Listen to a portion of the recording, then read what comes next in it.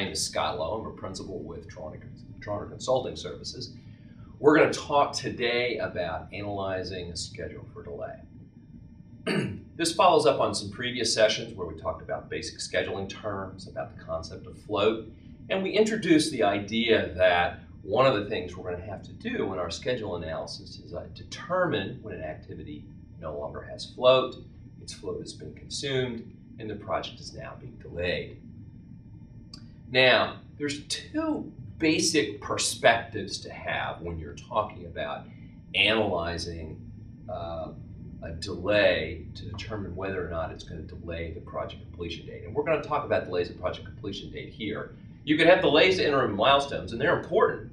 There oftentimes are liquidated damages or other costs associated with delays to interim milestones. But just to keep it simple today, we're going to focus on delays to the project, which is probably the most common occurrence in any event.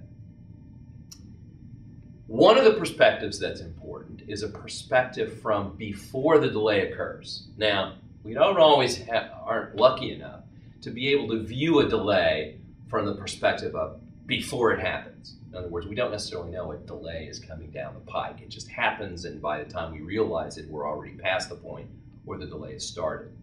So the second perspective would be viewing a delay after the delay has occurred and trying to measure its impact on the project. We're going to focus in this discussion on delays to the project that we're forecasting in the future. In other words, we're going to try and evaluate the delay before we actually experience it. And clearly, from a project management perspective, that's the situation we want to be in, a situation where we can forecast that there's going to be a problem and address the problem before it ever happens. Uh, typically, for example, if you were an owner and you had to make a change, one of the things you'd like to know is what are the consequences of that change going to be on the schedule? And if necessary, if it's going to necessitate a scheduled time extension, you want to give it the time extension before uh, the delay even occurs, and certainly when you issue the change order. Don't wait till the end of the project to get time extensions. You'll, as an owner, you'll often get yourselves in a constructive acceleration situation, which we're not going to talk about in this session, but kind of an introduction to future sessions. Um, so the preferred mode here will be to evaluate delays before they occur. That's what we're going to try and do. We're not always going to be able to do it, but that's what we'd like to be able to do. So let me set the stage. Um, let's say we have a bridge, and let's say we decide that in executing this project, this bridge project, we're going to run into, we discover after we've already started construction, we're going to run into a problem with obtaining access to construct our cofferdam in the river for one of the bridge piers. And because of that, we're envisioning that the project is going to be a delay. It's an environmental issue, fish are spawning in the river, and we can't go into the river while that activity is taking place. So, from an environmental perspective, we're being precluded uh, from working in the river. And this was not noted in the contracts. Neither party, neither the owner nor the contractor were aware of it. Uh, and this is something that's discovered once construction begins. And what we want to figure out is what are the consequences to the project going to be that, in fact, we uh, aren't going to be able to get into the river and construct one of the cofferdams when we'd hope. So this slide here refers, you can see the bridge itself, and you can see here the pile foundations for which we'll require uh, a cofferdam to construct. Now, this next slide is the baseline schedule. Basically is the schedule in place uh, for the purposes of our discussion at the beginning of the project. Okay?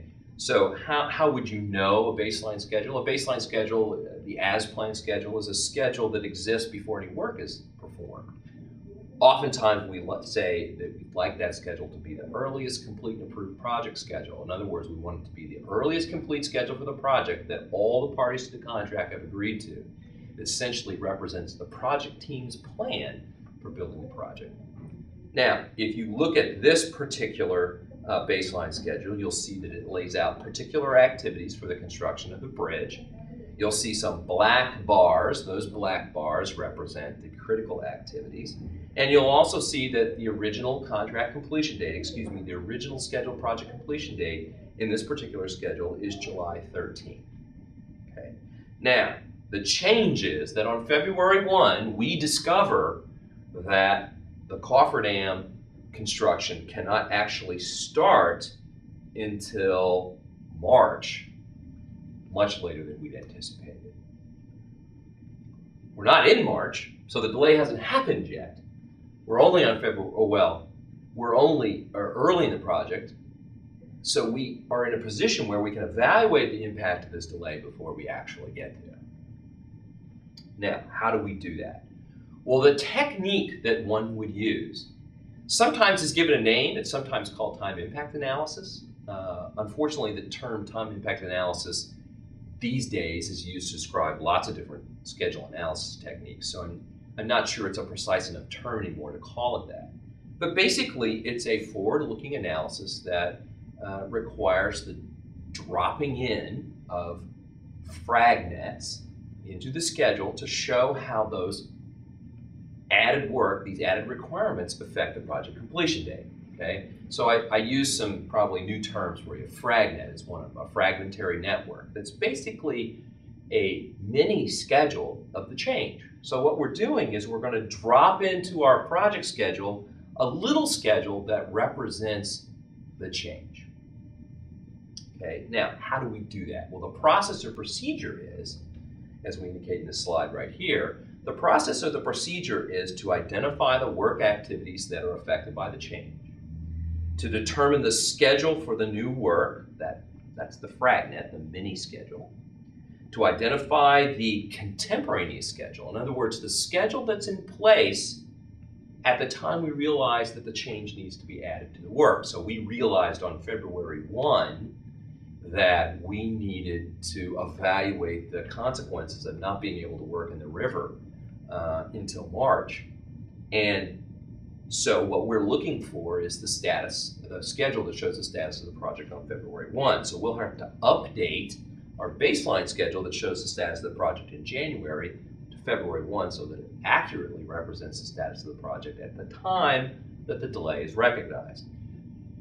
In part, we always want to evaluate delays in the contemporaneous schedule, a schedule that's in effect at the time the delay is recognized or occurs.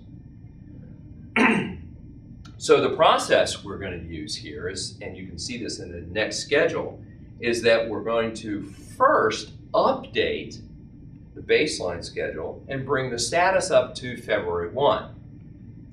And you can see now that the project completion date, looking at the next slide, is July 19th. The next thing we want to do is we want to adjust this updated schedule for the change. In other words, we want to insert the change into the schedule. And the next slide shows the logic that we're going to use and what it looks like.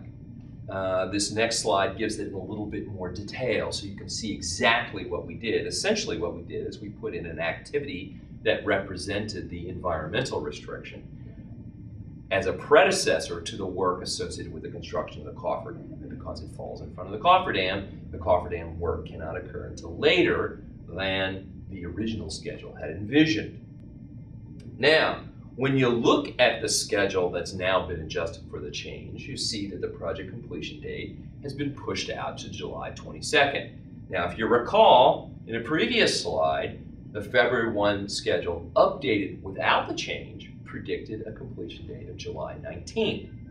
So, if the predicted completion date of the project without the change is July 19th, and when I put the change into the schedule, the predicted completion date of the project is now July 22nd, we know that the consequences of inserting this change into the project is that the project completion date has been pushed out three days. There's been a three-day delay associated with the restrictions uh, on working in the river uh, until March. So, sort of summarizing here, this time impact analysis approach that I've described, or this fragnet type of analysis that I've described, works very simply. identify the change, develop a little miniature fragnet for that change, identify the date when the change needs to be inserted into the schedule, update the schedule to that point so you'll know the status of the project at the time you insert the change, insert the change in the updated schedule, and look to see what the consequences are. If there is no consequence, then essentially what's happened is the change has consumed float on a path, but it has not actually delayed the project completion date.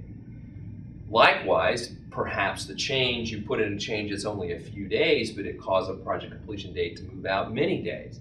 That might be because it's now pushed you over a winter shutdown period or pushed you over some other milestone or restriction on the performance of work on the project.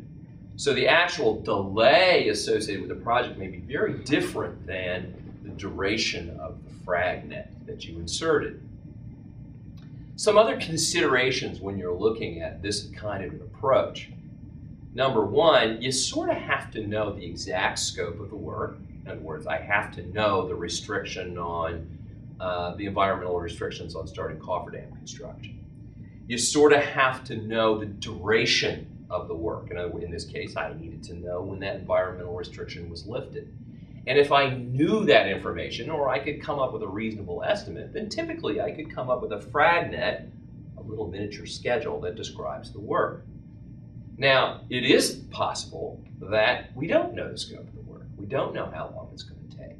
Or in some cases, you may have a situation where it's not even work. In other words, it's kind of an absence of work. For example, maybe the contractor receives a stop work order. Don't do this anymore but there's no indication as to when the stop work, order will be lifted, and there's no indication as to why the stop work order is issued. For example, maybe the stop work order is issued because there's a design error, and the owner now has to work through the problem and figure out how to correct the design so that the contractor can continue working.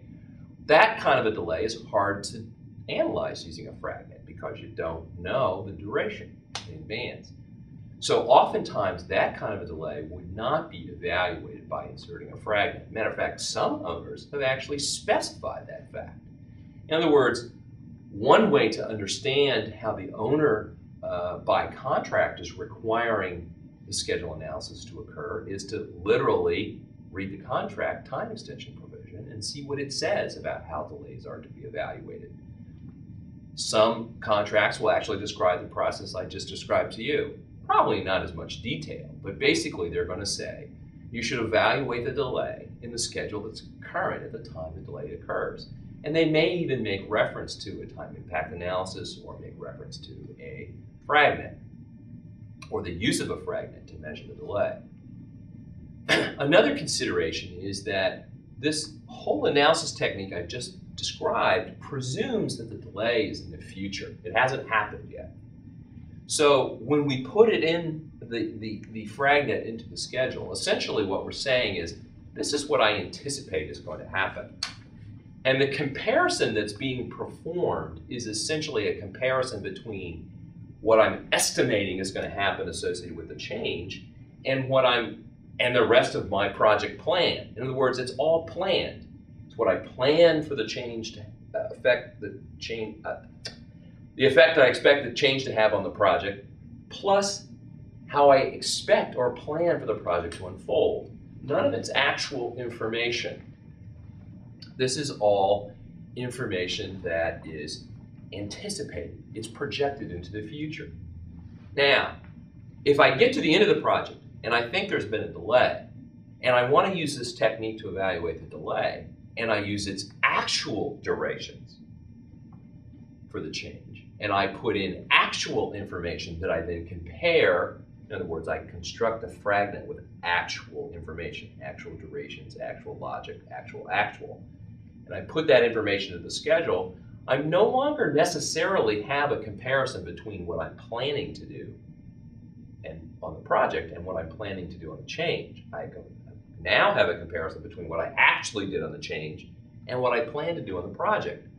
And there I think is a, concern that that comparison um, may be unfair sometimes. In other words, we're comparing apples to oranges, actual information to uh, what was planned. So while the approach that I've just discuss, uh, described works great from a uh, projecting the future perspective, and it's a very common and readily acceptable approach. It's not so useful when looking at the work uh, from behind. In other words, after the delay has occurred, it's it's it's less convincing. Perhaps it may be less successful. You may have more problems convincing the other parties that it's an appropriate technique to use, and there may be other techniques that are more appropriate to use, which we will discuss in the next session. Thank you.